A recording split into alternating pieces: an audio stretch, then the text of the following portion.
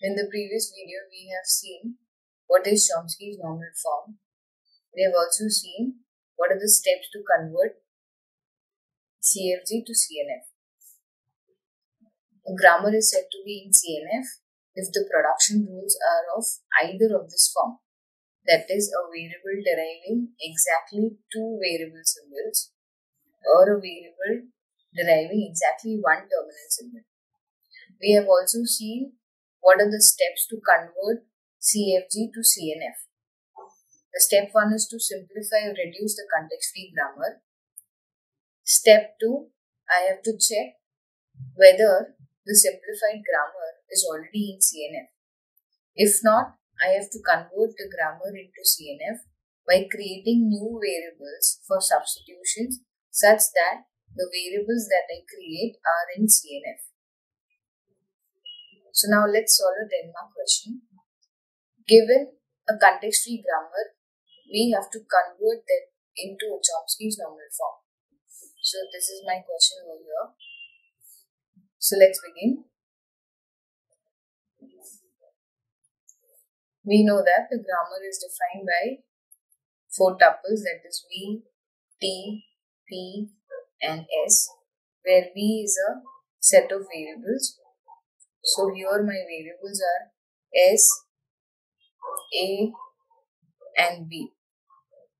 Okay. And T is a set of terminal symbols. So from the production rules, eh, the terminal symbols are 0 and 1. Fine. S is my start symbol.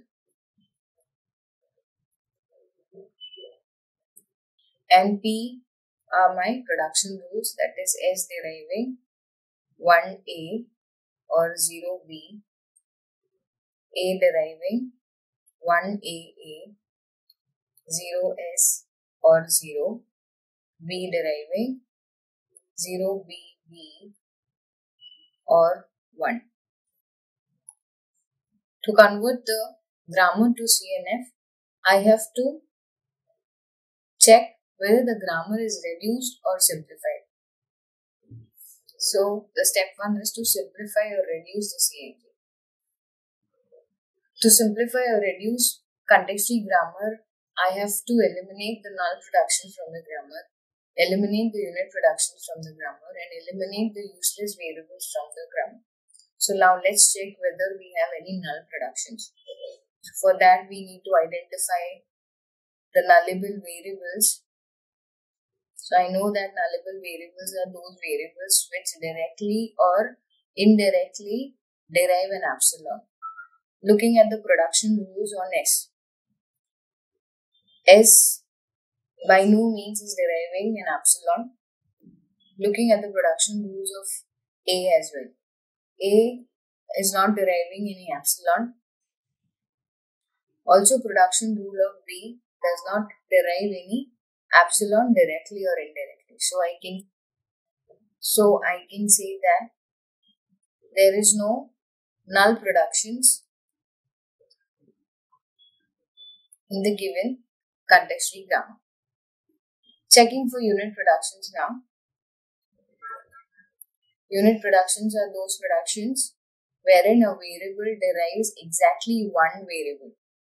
So going back to our production rules, S deriving 1A is not a unit production. Also S deriving 0B, not a unit production.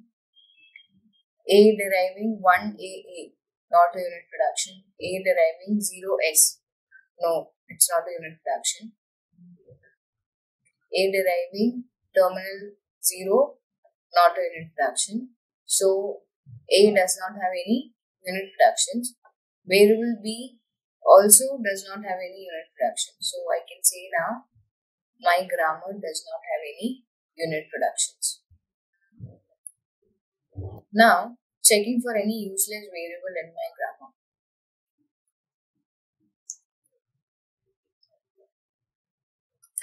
I know that a variable is useless if it is not reachable from the start symbol or it cannot derive a terminal string.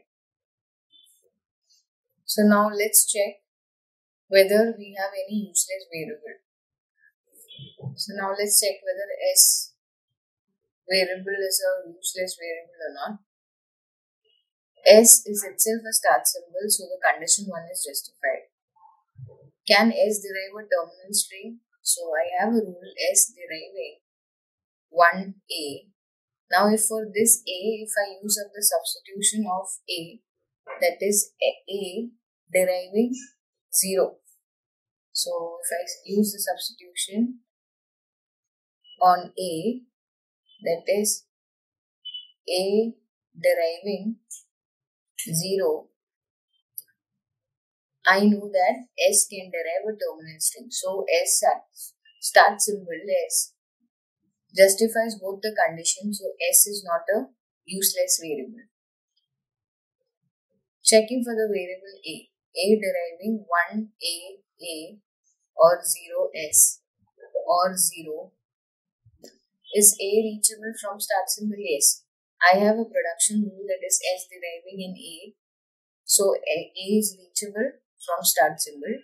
Can A derive a terminal string? Yes, I have this rule A deriving 0. That means A justifies the condition, variable A justifies the condition 2 as well. So A is not a useless variable. Coming to variable B, B deriving 0, B, B or 1. Is B reachable from start symbol? Yes. Checking the production rule of S, S deriving 0B. Yes, B is reachable from start symbol. Can B derive a terminal string? Yes, we can derive a terminal string as well. That is B deriving 1. So here there are no useless symbol. So my grammar is in reduced form. My grammar is already in reduced form. Now, after checking all the three conditions, we have found out that the given grammar is already in reduced or simplified form. Now, step 2 is to check whether the production rules are already. If not, I have to create new variables for substitution such that the new variables are in CNF. So now let's begin for production rule S. Let's check whether it is in CNF. S deriving 1A or 0B. The rule S deriving 1A is not in CNF because it is a combination of terminal and a variable. S deriving 0B is also not in CNF since it is a combination of terminal and a variable. So I create a new variable such that the variables that I create is in CNF. I know the production rule should have exactly two variables. So I create a new variable which derives as 1. So let's say y1 will derive 1 and use this y1 on s. That is S will now derive y1a. So now S deriving y1a is in CNF. The other production rule on S is S deriving 0b. This is not in CNF. So I create a new variable which derives 0 that says y2 deriving 0 and substitute this back on S. So S will derive y2b. For the production rule S, I have converted it into CNF form. That is S deriving y1a or it derives y2b. Okay, where y1 derives 1 and y2 derives 0. So the new variable that I, I have created is also in CNF. Now, A deriving 1AA or 0S or 0. Here, A deriving 1AA, it is not in CNF. A deriving 0S is also not in CNF. A deriving 0 is in CNF form. Okay. So now for the rules A deriving 1AA or 0S, I have to look up for some substitution such that I convert them into CNF form. Here, this is a combination of uh, terminals and variables. For 1, I have already created up a substitution of y1. So, if I substitute for 1 y1, I get y1 a a and for this rule that is a deriving 0s, I have already created up a variable y2 which derives 0. So I, I'll use this y2s. Okay. So now if I look at the production rule, a deriving y2s is in CNF. That is, it contains exactly two variables.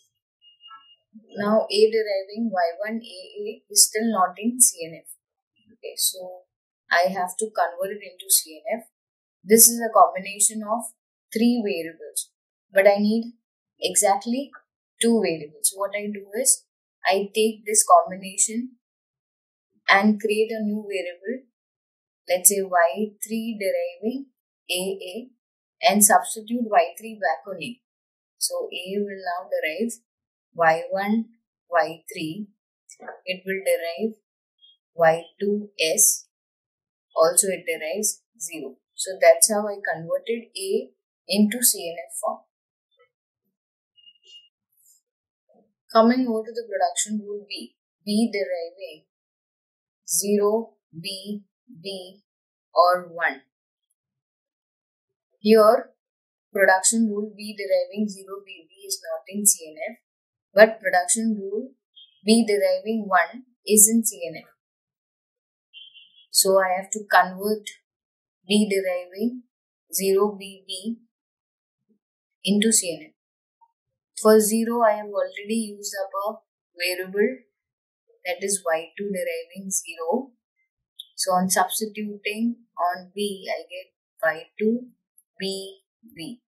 Now this is a combination of three variables which is not allowed in CNF. I need exactly two variables. So what I do is I create a new variable which derives BB. So let's say I derive y4 which derives B. And substitute y4 back on B and B will now derive y2 y4 also it will derive 1. So my final grammar which is in CNF will have following production rules. S deriving y1a, y2b, y1 deriving 1, y2 deriving 0, a deriving y1, y3, or y2s or 0 y3 deriving a a okay b deriving y2 y4 or 1 y4 deriving b b okay so looking at all the production rules, each of the production rules satisfy either of the two conditions of CNF. Thank you for watching this video. Do subscribe to the channel to get notified about new videos.